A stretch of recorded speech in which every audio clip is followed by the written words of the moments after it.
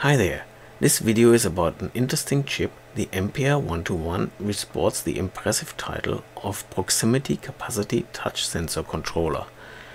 I'm investigating this chip to provide a button interface for the Pimoroni Enviro Plus board for the Raspberry Pi.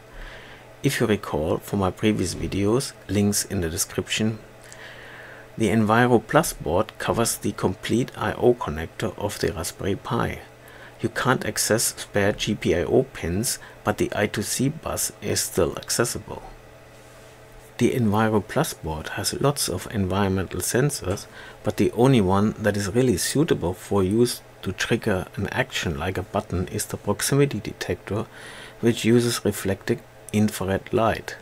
One button would make a pretty horrible user interface, so can the MPR121 come to the rescue?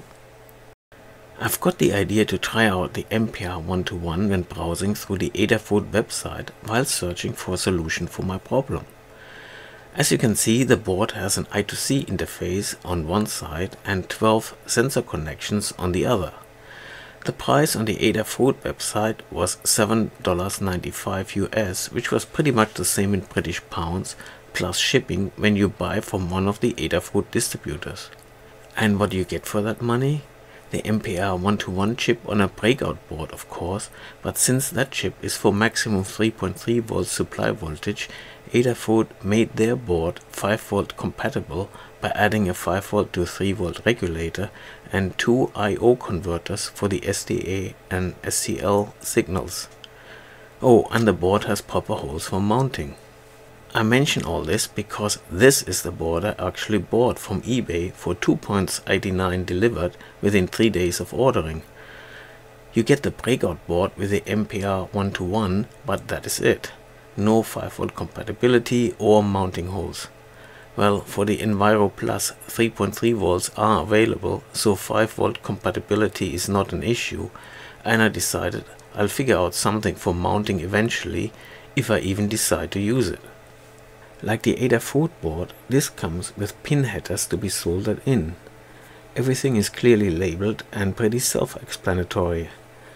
The black solder mask makes it a bit tricky to check traces because I'm looking where I can drill the missing mounting holes. It looks as if there's space on the left side, above and below the 6 pins for the I2C interface. On the top you can just make out one wire which may be only a redundant one for the ground plane, but with careful drilling it is just possible to avoid that wire.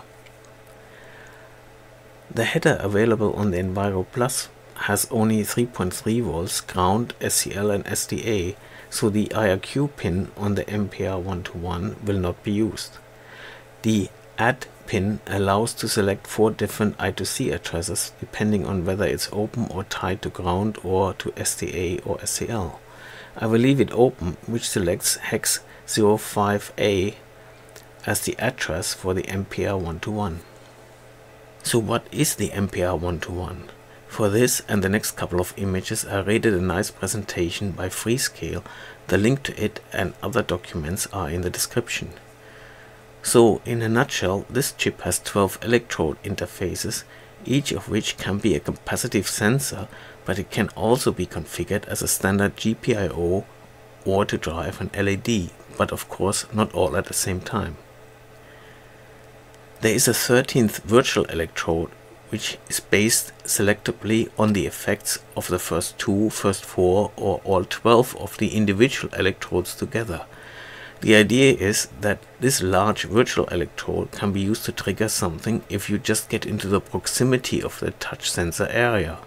Each of the 12 sensors forms a capacitor, one plate being the electrode and the other whatever is in the proximity, for example air or your finger. It is important to note that you don't need to make physical contact with the sensor. It is designed to work just by proximity and through isolating material, for example a printed circuit board.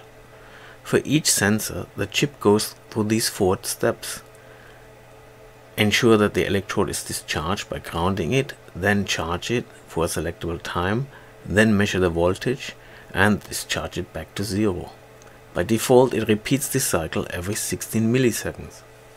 Without touch, The voltage and therefore the capacity measured for each sensor depends on a lot of things, like the size of the electrodes, the dielectric material used to isolate them from each other and the user, wiring, and so on. So with differently shaped electrodes, the at rest value will be somewhat different for each sensor. This at rest value is referred to as the electrode's baseline. In addition, there are changes in capacitance based on static, humidity, temperature, and so on, so the baseline changes over time. The MPR 121 implements a rather complex and fully configurable mechanism to automatically adjust each electrode's baseline for these effects, while suppressing changes caused by noise. This is shown in the upper graph, and there are several application notes available explaining the method and the effects of the adjustable parameters like NCL, MHD, and so on. Touches are detected as drops in the baseline that exceeds configurable thresholds. This is shown in the second graph. But the binary touched, not touched data is not the only thing an application can read from the MPR121. The filtered ADC values for each electrode are accessible as 10-bit values on the I2C. This allows, for example, calculating 2D positions as shown here. The red E0 to E3 represents four electrodes arranged in a square. If your finger would be at the location of the green, yellow or orange circle, the effects on the ADC values would allow you to approximate these positions. Note that I had to redraw the bars on this diagram because for whatever reason the original presentation shows the effects of touch on the ADC count reversed from what I observed in my experiments. I would also like to point out that this is still highly idealized. It does not take into account that the baseline no touch value is slightly different for each sensor and all baselines drift potentially slightly differently over time. Further, the actual effect is much smaller. In my experiments, for example, the baseline was around 730 and in the yellow E2 case dropped to only around 550. So yes, interpolation is possible to program, but not that easy, accurate and reliable. Some ideas on shapes of electrodes for different purposes. I was particularly intrigued by the linear slider, especially the one here on the left, and I gave that one a try. The white sheet is normal printer paper laminated because that is what I would use for a front plate. The electrodes on the back are kitchen foil. Unfortunately, I did not think of making a video of the underside, you can just make out that the two upper electrodes form a slider and the two lower ones go to simple rectangular buttons.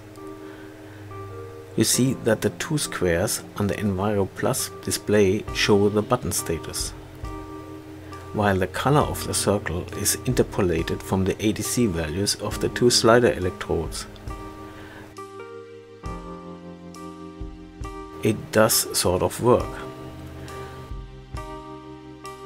Of course, like with the slider, nothing stops you from touching multiple sensors simultaneously and the MPR 1-to-1 response as expected. By the way, the white numbers on the display indicate which electrode was touched.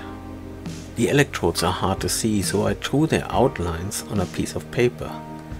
It should be possible to sense touch even through the additional layer of paper. Yes, buttons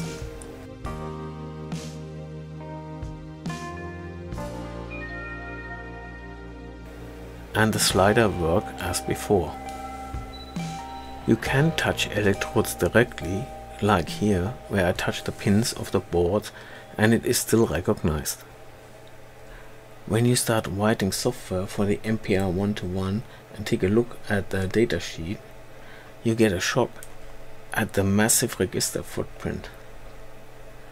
No less than 128 registers are accessible from the ITC, I2C bus and about half of them need to be configured in some way. The reason for that explosion is that everything from thresholds to noise counts and filter settings need to be set up and configured for each of the 12 actual sensors and for the virtual 13th electrode as well. There is an MPR one-to-one driver available from Adafruit, but I did not like it because it seemed to be more like a proof of concept and is very limited in what it allows the user to configure. So I rolled my own driver, which you can download from my GitHub page. I also want to quickly mention that the MPR one-to-one datasheet is definitely not enough to program the chip. While it contains the register map and bit definitions, it does not explain why what values need to be set and how they all depend on each other. It turns out that this essential information is sprinkled over at least 7 separate application notes you need to first find and then download in addition to the datasheet. As a public service, here's a list and links to the important ones, especially the last one is absolutely crucial for configuration. Amongst other things, it explains how to do some kind of auto configuration that relieves you from manually calculating and setting some of the most fundamental configuration values. You find this list in the description of the video.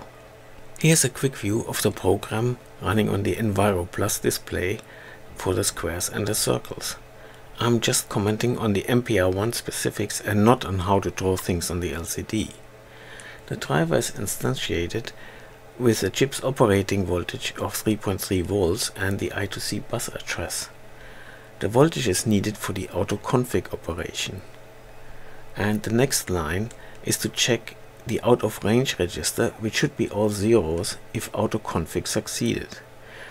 I have never seen it fail. The next line turns off proximity mode which is the virtual 13th electrode since I'm not using it in this test. In the while loop I'm reading the touch status and all capacitance values in one go by calling mpr121.filtered. There are other functions in the driver that just report whether the electrodes are pressed or not or to return capacitance values, but this one gives everything in one go as a snapshot, so to say, which ensures that the values are consistent with each other. For convenience, I then convert the bits of the touch status into an array of booleans and do the same with the electrode capacitance values. At the same time, I create a string showing which electrode was touched. This bit here uses the ratio of the capacitance of electrodes 0 and 1 to calculate a color. The rest is very straightforward. Depending on the touch status, the program draws a circle and rectangle and either fill or not. And that basically is all there is. Auto-config and sensible defaults make using the MPR one-to-one -one very easy but if you really need to, you can change the default configuration. For future use in the Enviro Plus project, I used LibreOffice Draw to design a front panel that looked like this. The blue part is the Enviro Plus board with the dark blue showing the locations of the LCD and the other sensors. The brownish rectangles are touch sensors. I'm planning to use copper foil instead of kitchen foil because that allows you to solder wires to it. You see that I'm using all 12 electrodes of the MPR one-to-one. Electrodes 2 to 11 are simple buttons while electrodes 0 and 1 are long bars. If I enable the button overlay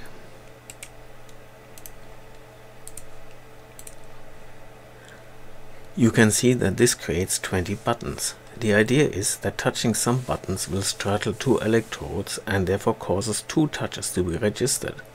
For example, button 11 is recognized when button 1 and 0 are both touched. Button 2 and 0 gives 12 and so on. Theoretically, I could have combined both bars to gain an extra button but I think 20 will be probably enough.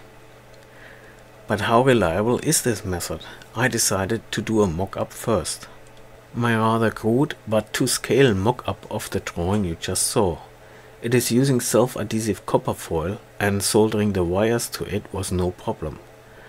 What I did not think about is that since this is the underside of the front panel, everything should have been mirrored, but for a function test this does not matter. I changed the program on the Enviro Plus to just display the button number and I indicated the center of the buttons with a blue felt tip marker. In real life the panel would of course show printed buttons with labels instead. As you can see the results are disappointing. Of course, the direct buttons are no problem, but the ones formed by the combination of two buttons are very hit and miss. The detection is very sensitive to minute differences in the way and exact location of the touch. I think as it stands, this is not suitable as a user interface. Interestingly, the upper block worked slightly better and since this has a shorter bar, it got me thinking that on the relative large bar area below, the partial overlap of my finger causes only a relative minute capacitance change. So maybe those bars should be much thinner than the standard buttons. Alternatively, maybe I could improve the behavior by reducing the detection threshold for the bars to make them much more sensitive. Changing sensitivity is easy to try. I just added these two lines to override the standard configuration for all buttons. By default the touch threshold is 12 and release 6, but for the two bar-shaped electrodes I changed it to 6 and 3.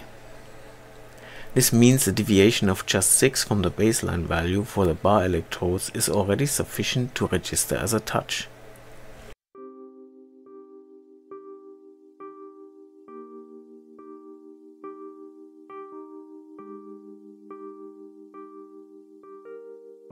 I think you'll agree that with this simple configuration change the behavior is much better now, but still not perfect. Depending on what functions these buttons will eventually have, misinterpreted buttons could be an immensely frustrating user experience. Just imagine one does for example save and the other delete. So back to the drawing board. I decided to forego the idea of the overlapping buttons as it is too error prone and I try this layout instead. If I enable the button overlay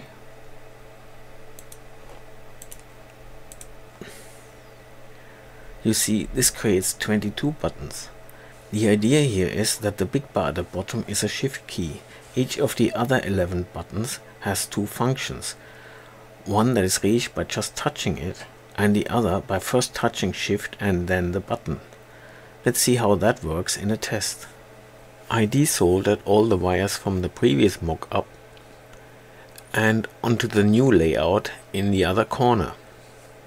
This time I did remember to mirror the button layout so it matches the design. One slight problem with the new mock-up is that the wires preventing the panel from lying flat when reversed. In the real front panel there will be holes drilled under each button so the wire can pass through.